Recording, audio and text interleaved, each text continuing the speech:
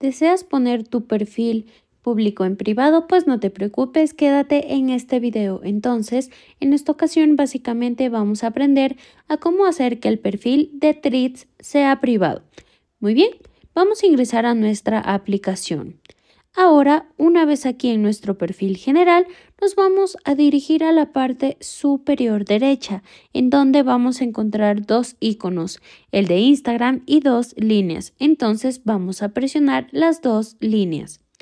Ahora, una vez aquí vamos a tener varias opciones como privacidad, cuenta, información, entre otras.